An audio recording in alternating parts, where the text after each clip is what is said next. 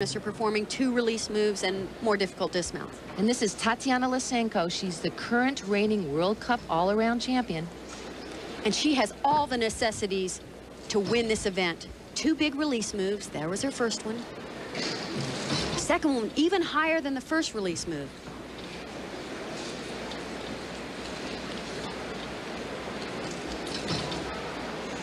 And most importantly, she has a very difficult dismount coming up right here.